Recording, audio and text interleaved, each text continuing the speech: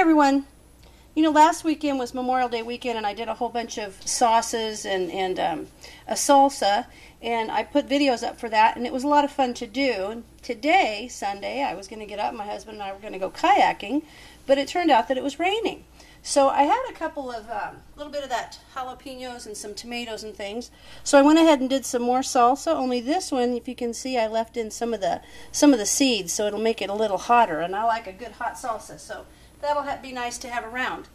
But when I um, posted my videos, one of my subscribers asked if I had a relish recipe for hot dogs. And I got to looking through several books, and I can't find anything specifically hot dog relish. And when you talk about relishes, there's mustard relish, there's regular pickle relish, and sweet pickle relish.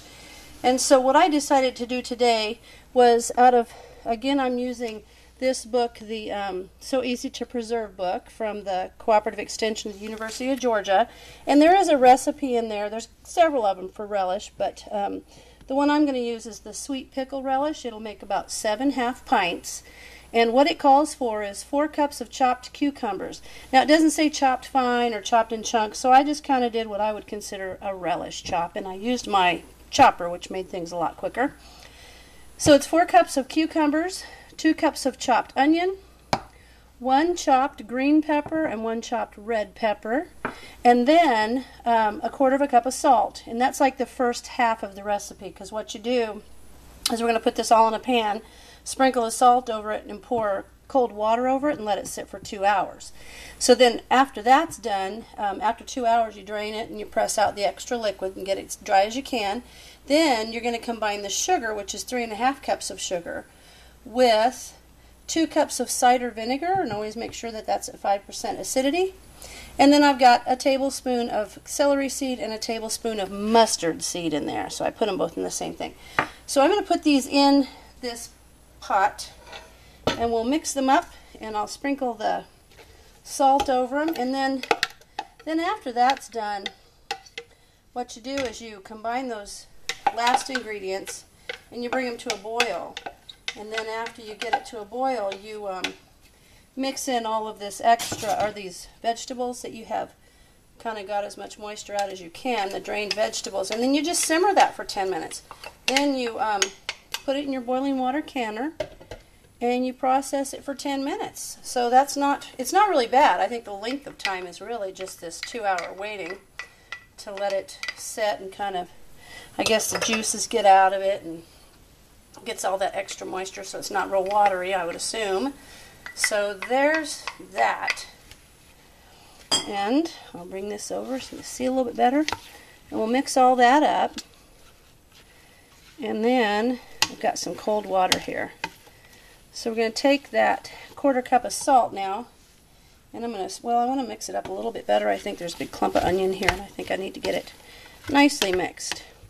So we'll get that there, and then we'll sprinkle this salt over the top of it. And then it just says cover with cold water and let it stand for two hours. Get all that off of there. And here's some cold water, and I'm just going to kind of get it around the edges to kind of get that off the sides of the pan.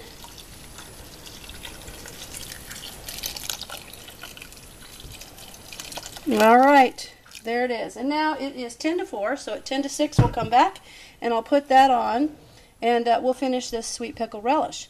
But for the next two hours, you know I don't like to sit idle, so I am going to make some molasses cookies. So I'll do a video on that, and it's kind of a neat recipe that I found in an old, old cookbook of my mom's. So I will be back with you when this is two hours old. All right, we're back to our relish. Now this is set for two hours with the salt and the water, and I'm going to run it through the strainer here and I put some cheesecloth on there because you're supposed to try to get as much moisture out of this as you possibly can. And um, the cheesecloth makes it kind of easy to be able to kind of press it down and get all that extra moisture out of there.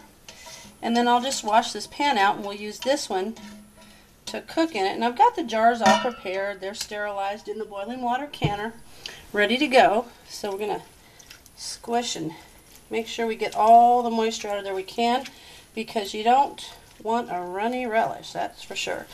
So I'm going to squeeze this, I'm going to wash the pan out, and then I'll come back when we're ready to mix everything together.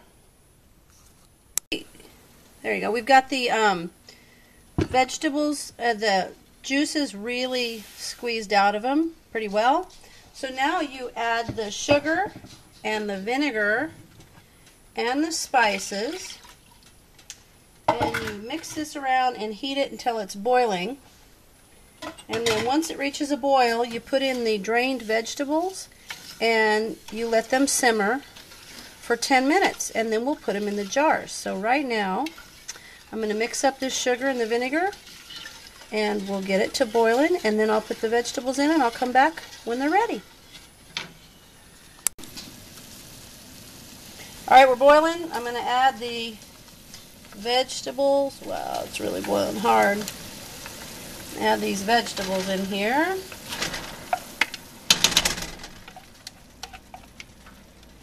Kind of excited about this relish. I think it's going to be great. And it just so happens that tomorrow, when our grandkids come over to hang out, they uh, are going to have hot dogs. So I might have a little of this left over to put on their hot dogs. Alright, so now we put those vegetables in there. Now we're going to get it to a simmer and let it simmer for 10 minutes. My rings and my flats for my lids are ready to go. And then we'll just jar it up. Okay, the relish has boiled. It's well, it's simmered for 10 minutes. Oh, that doesn't look so good. There you go. And uh, it looks really good. It's kind of thin though. I'm a little concerned about that, but I'm assuming it will thicken up. Oh, fogged up my screen. I'm, I'm assuming it'll thicken up, but we'll see. I'll do an update on that. Anyway, I'm going to put it in the jar. Just tilt it down a little bit. Now I want you to fill it to a half an inch headspace, which is like halfway up the neck of the jar. It almost looks like that uh, Thai sweet, hot and sweet sauce I did, but who knows. And then a little bit more could go in there. Get it up to, there you go. Always wipe the rim, you know, any of that stuff on there can help hinder that seal from doing a good job. So, wipe that rim.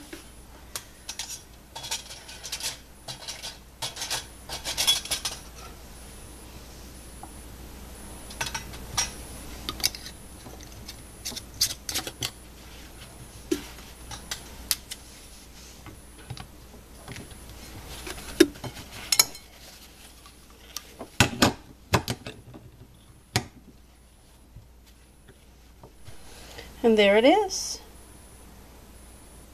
It's called Sweet Pickle Relish. Now, I will fill the jars and then I'll put them in the canner. And once they're in the canner, bring it to boiling and process it 10 minutes. And then, of course, you take the lid off, wait 5 minutes, and pull it out. So as soon as we're done with that, I will bring you back and show you the finished product. Alrighty, the Sweet Pickle Relish is finished. I'll show you a little jar of that. It, it was in the boiling water canner for 10 minutes, and I took the lid off and let it sit for 5. And then I took it out, and it's already, the lids are already popped on it. But there's my day. I got six little half pints of the sweet pickle relish. I got two pints of the salsa, and I left the little seeds. You can see the jalapeno seeds in there, so it's spicy hot. And I got a plate of these molasses bars, and I did sprinkle a little powdered sugar on them, just give them a little I don't know, looks a little nicer. But anyway, there was my day, my Sunday. So I had a good one. I hope you did too. Thanks for watching.